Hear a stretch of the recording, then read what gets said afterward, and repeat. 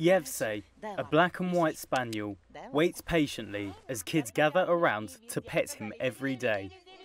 He's part of a dog therapy session in eastern Ukraine where canines help children adjust to a life after war. Yevsey is one of 28 dogs at a humanitarian aid centre in Zaporizhia, where children also draw, sing nursery rhymes, and receive psychological support. Olga Pivtoratska is a volunteer at the Dr. Doc Therapy Centre. It is important for them because the child's psyche is very vulnerable to the war which is going on right now.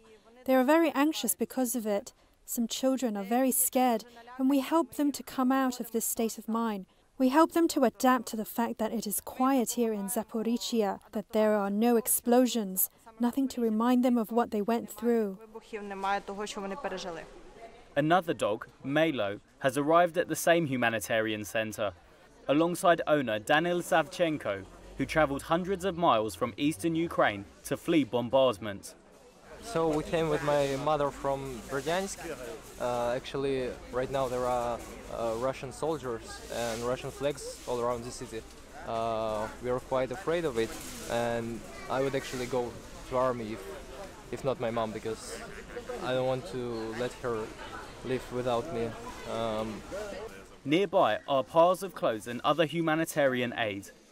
Many of the refugees have come from regions further east, where the bulk of the fighting between Ukrainian and Russian forces is taking place. Russia's invasion of Ukraine, which it calls a special military operation, has killed thousands and displaced millions.